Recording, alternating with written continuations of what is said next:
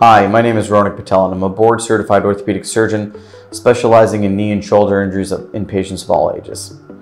Today I'm going to talk to you about the rotator cuff.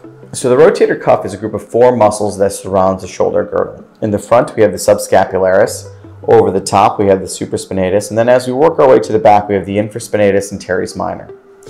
Each one of these shoulder muscles and tendons performs a different function. Some allow you to raise your arm, some allow you to rotate it internally or towards your stomach, and some allow you to rotate it out or behind you. Rotator cuff is important for function of the shoulder, and typically injuries can happen chronically as well as acutely. We divide rotator cuff injuries into two broad categories, acute or traumatic tears, as well as the second category, which is chronic or more degenerative tears. Chronic or degenerative tears are un, not uncommon and it can happen in many patients over the age of 60 years of age. These tears typically can be treated conservatively with physical therapy or anti-inflammatories along with the physical therapy.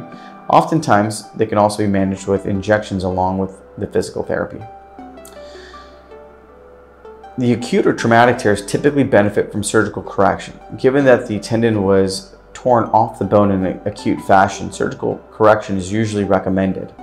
In this setting, the tendon is repaired down to the bone arthroscopically and then protected for a period of uh, four to six weeks post-surgically. After that, physical therapy uh, allows for restoration of motion and function and a resolution of pain. Rotator cuff tears are not uncommon. If you've suffered a rotator cuff tear, please do not hesitate to reach out to us.